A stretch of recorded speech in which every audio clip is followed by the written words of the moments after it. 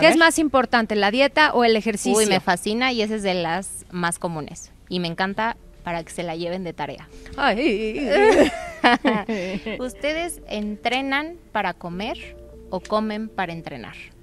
¿No les pasa que, por ejemplo, van a reuniones, sobre todo una que hace ejercicio, llegas a una reunión familiar y te dicen, ay, ya, majo, cómete la rebanada de pastel. Total, ya hiciste ejercicio. ¿Cierto o falso? Es como muy común. Sí, aquí a Chava cada rato le pasa Así porque de, él es fuerte. ya hiciste ejercicio, total, ya entrenaste, ay, ya fuiste al gimnasio. Ojo, 70% la dieta, 30% el ejercicio. Así de importante es la dieta. Y eso pasa, por ejemplo, y se ve, que de repente ves a alguien en el gimnasio, un señor, que va diario, diario, no falla, ni Como los Chava. sábados, pero come fatal, muy probablemente porque no le vas a ver ningún cambio. Entonces, no importa si te matas 3, 4 horas de ejercicio al día si no comes bien. Y de hecho tengo muchos pacientes, o la mayoría de mis pacientes estrella, no hacen ejercicio y tienen resultados increíbles. ¡Tatán!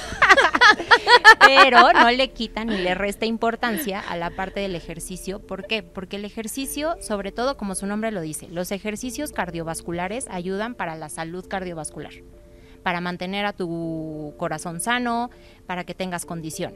Y el ejercicio de fuerza lo que va a hacer es que no pierdas ese tono muscular, que se ve relacionado mucho en adultos mayores que tienen fractura de, cadera, que es como muy Mm, común Sí, empieza a ser común con o la edad, sí. osteoporosis, osteoporosis, perdón. Todo ese tipo de enfermedades se pueden prevenir haciendo un buen entrenamiento de fuerza en una edad adulta.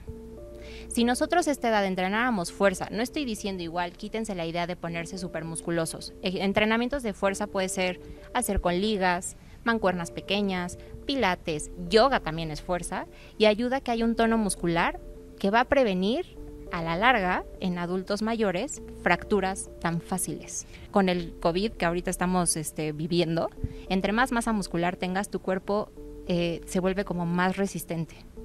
Y se ha visto en Europa que entre más masa muscular hay menos riesgo de COVID.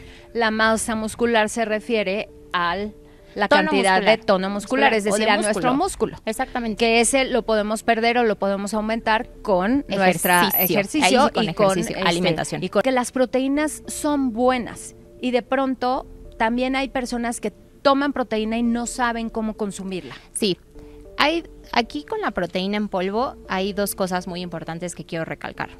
Una, hay muchas marcas de proteínas que solo manejan dietas de proteínas.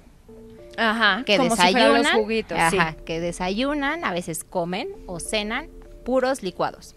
Ajá. Si cada licuado de proteína tiene 100 calorías y nada más estoy desayunando y cenando 100 calorías y me mandan una manzana de colación, pues tengo una dieta calórica de 500 calorías. ¿Cómo no voy a bajar de peso? Claro que voy a bajar de peso, pero ¿a quién no le gusta masticar? Yo digo. Yo también. Entonces, ¿qué es la proteína también? No porque empieces a ir al gimnasio, luego luego los entrenadores les mandan proteína. Y Sí. no todos necesitan proteína. La- el suplemento de proteína como entra es una manera muy fácil y muy práctica de yo consumir una porción de proteína que mi cuerpo necesita. Entonces, cuando alguien llega, sobre todo de la parte de nutrición deportiva, oye, estoy haciendo muchísimo ejercicio, necesito tomar proteína, ¿quieres? Te la puedo mandar. Pero esa, esa cantidad de proteína que normalmente son 30, de, 30 gramos de proteína netos, se los puedo mandar con pura alimentación y no es necesario gastar.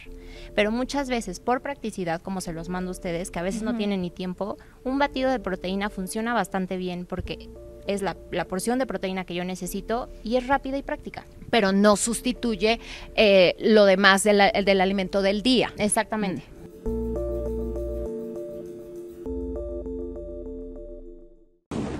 Sabes que nunca dejamos de pensar en ti. El ventaneo nunca termina. Suscríbete a nuestro canal de YouTube. Ahí encontrarás nuestros programas del día. Completitos, notas del día y contenido especial para ti.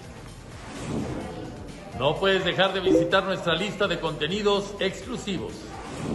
Dale like, suscríbete y forma parte de nuestra comunidad ventanera.